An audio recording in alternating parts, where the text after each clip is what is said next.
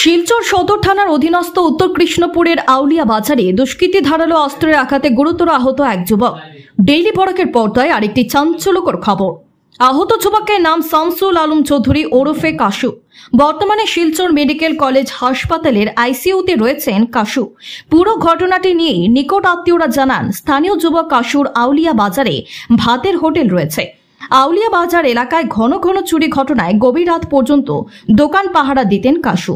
সোমবার রাত সাড়ে বারোটা নাগাদ এক যুবককে আউলিয়া বাজার এলাকায় ঘোরাফেরা করতে দেখে কাশু তাকে জিজ্ঞেস করেন, কেন সে ঘোরাফেরা করছে? এ নিয়ে কথাবার্তা চলার সময় আচমকায় ওই যুবক। কাশুর উপর দাঁড়াল অস্ত্র দিয়ে আক্রমণ করে বসে। তার শরীরের বেশ কয়েকটি কোপ বসিয়ে পালিয়ে যায় ওই যুবক। এদিকে কাশুর হাল্লা চিৎকার শুনে ছুটে আসেন আশেপাশের লোকেরা। তাকে গুরুতর আহত অবস্থায় শিলচর মেডিকেল কলেজ হাসপাতালে নিয়ে যান। বর্তমানে আইসিইউতে চিকিৎসা চলছে তার। এদিকে ঘটনার খবর পেয়ে রাতেই পুলিশ আউলিয়া বাজারে এসে তদন্ত শুরু করেছে। আক্রমণকারী যুবককে ধরতে অভিযানে নেমেছে police. Bureau report daily Barak. আমার নাম শোয়েব হোসেন বগুড়িয়া।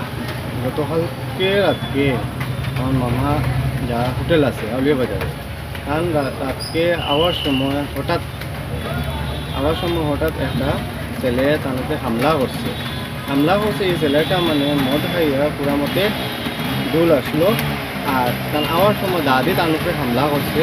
কারণ শরীরের মাঝে প্রচুর জখম হয়েছে। এখন বর্তমানে মেডিকেলে আইসিউতে তাই ভর্তি হয়ে আছে। তার নাম শামসুল আলম চৌধুরী। বাবার নাম বিদ্যাউদ্দিন চৌধুরী। বাসাটা কইতাম কারণ বাসা উত্তর কৃষ্ণপুর পার্টি বড়- আলিয়া বাজারে তার দোকান আছে। ঘটনাটা নাটক কটার সময় হয়েছে? রাত্রে গরম গতকালকে কাজ আসলো খুব বেশি দোকানে ওখানে শেষ করে দিতে দিতে একটা সময় আমি যাওয়ার সময় এই ঘটনাটা হচ্ছে। আর কালকে মানে এই জিনিসটা তার লেট হয়েছে। মেইন কারণ হইল গার্জেন এর আগে থেকে প্রচুর চুরি হয়েছে আশেপাশে দোকানে পাশের একটা দোকান দুটো পরশু দিন গিয়া চুরি হয়েছে। তো দুইটা সিলিন্ডার ওখান থেকে নিয়েছে ছুটে ও থেকে তার একটু লেট হয়েছে। তো আইতে সময় তার সুর যে আসলো হে একটা ফার্মেসিতে কাজ করে। তার বাড়ি হইলে আউলিয়া টিল্লা। কি ফার্মেসিতে কাজ করে? কেবি ফার্মেসি কেবি ফার্মেসিতে কাজ করে। ফার্মেসির মাঝে হে আসলো। তে তার হয়েছে গিয়া হে,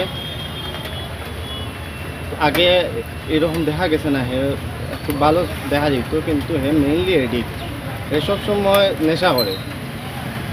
এমন কোনো নেশা নেশাজাত পদার্থ নাই হে যে খায় না, সব কিছু খায়।